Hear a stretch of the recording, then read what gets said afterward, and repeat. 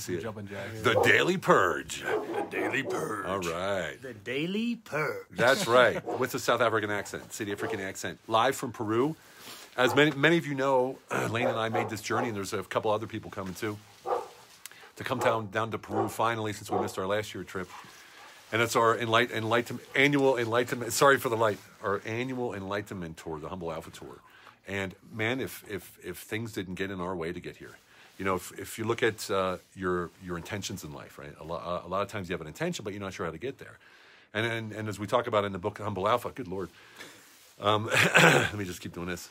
If you, like we talk about in the Humble Alpha, is that when you set an intention, it's all about the certainty, right? So if you're looking at your what it is that you want to achieve, your goal or your your your your mission or whatever it is, it's not enough just to say I'm going to get there. Creating that certainty is what gets you through these obstacles. And you know, I've had a lot of obstacles getting here. I had to take two COVID tests in two different countries. You know, airplanes, trains, automobiles. My way back, I have like four connections over four different countries. And Lane had also the same Yeah, just yeah. obstacles. obstacles, resistance, and uh, you know, it's, it boils down to deciding that you want to have this experience, that you're going to have this, and it's, it's we talk about it all the time, letting go of the how. You know, Yep. we didn't know how everything was going to unfold. We didn't know how things were going to happen, but we knew that we were going to get here and we're going to have a profound experience. And uh, very excited to be here. I'm, a- I'm a little tired, um, but uh, super excited. I, I'm full of energy, but yeah, I'm still tired. And we got two dogs down Two here. dogs fighting see. down here. Yeah, so you're wondering what we're doing. Yeah. Yeah, and that's the whole point is that no matter what rolled up, like Lane missed the plane because his ba- bag was late. Like, okay, next plane's coming, right?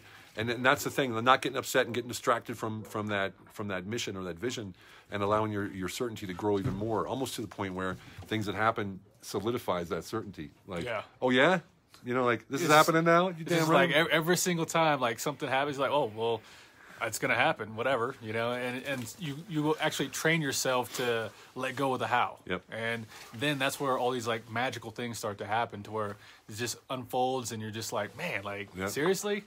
Yeah, You like we were dri- we were uh, when, when you fly into into Peru, um, splash. Uh, when you fly into Peru, you have to wear a, a face mask and a mask, so a face shield and a mask. And I didn't have one when I was checking in. They said, "Well, then you can't get in the plane." And I was like, "Oh, I'll work it out." And the lady behind the counter is like, "I got one in my car. Give me ten minutes." and she runs out to her car and gives me this free face mask, which is like, wow. And it, not for one second did I doubt that I was getting on that plane. Even if she wouldn't have got the mask, there would have been a way. And then when I got when I got off the plane in Peru, I walked through the entire airport, out the front, you know, in Lima, out the front, back into the to the check-in, Yep. and only at the check-in did they, did anyone even approach me about wearing a face shield. Yeah, yeah. You know, so it's like it's it's you just drive with that certainty, and people are like, okay, this dude knows what he's doing. Yeah, you just you have that that presence of of the certainty, and and people feel it, and they're like, oh, it's like that that uh, idea where like if you feel like you belong in a place. Yeah.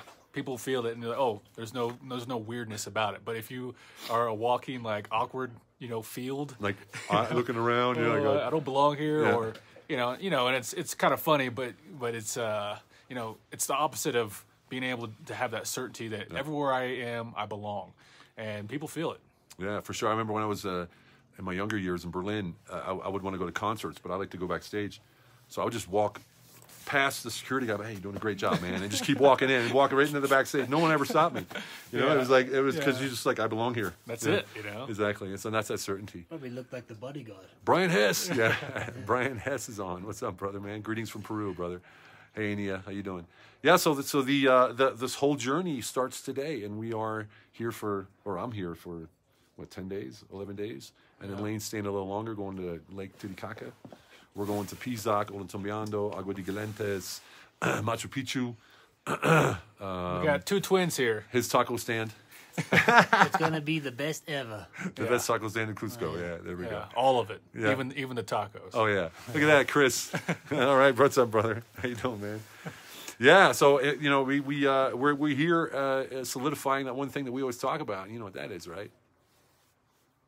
Quality of life. Quality of life. There we go. All right, then we, we forgot. It's all Yeah, about yeah. yeah, It's yeah. all about quality, Quality of of life. life. There we go. We Yeah. got it now. Oh, and, and this one is since we're not in a separate video, like there's no like lag. Lag, yeah, like quality of life. Like, quality, uh, quality.